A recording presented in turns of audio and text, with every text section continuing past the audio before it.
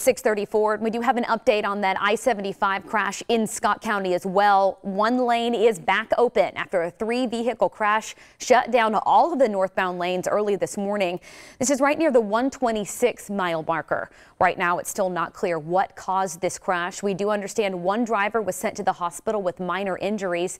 Traffic is being diverted to the 125 exit ramp, but again, one lane of that northbound traffic there on I-75 in Scott County is back open.